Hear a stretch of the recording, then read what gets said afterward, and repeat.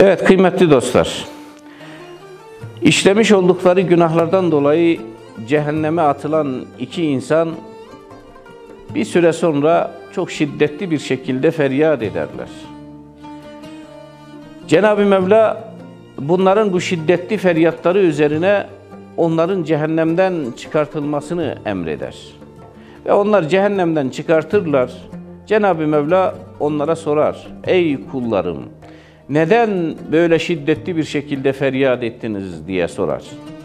Onlar ya Rabbi sesimizi size işittirip sizin merhametinizle bizi cehennemden çıkarmanız için şiddetli bir şekilde feryat ettik derler.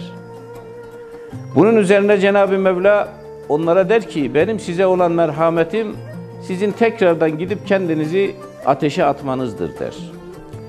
Allah'ın bu emrini görenlerde gören işittikten sonra onlardan birisi Allah'ın bu emrine sorgusuz sualsız bir şekilde hemen itaat eder gider kendisini cehenneme atar.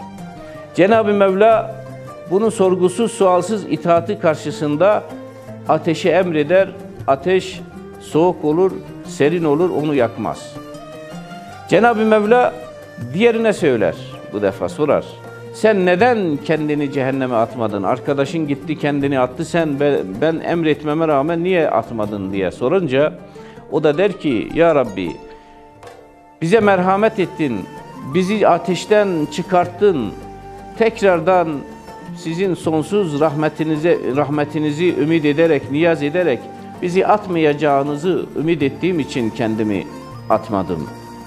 Yani bize merhamet edeceğinizi ümit ettiğim için kendimi atmadım deyince Cenab-ı Mevla senin de niyazın ve ümidin kabul olmuştur der.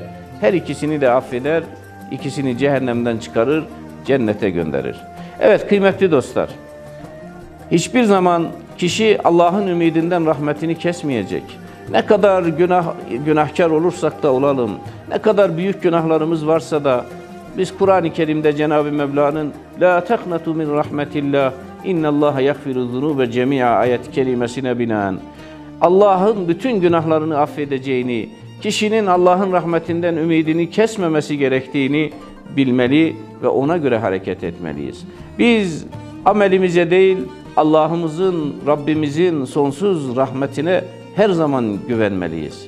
İnşallah Rabbim cümlemize bu mübarek Ramazan ayının hürmetine bize merhamet eder, günahlarımızı affeder.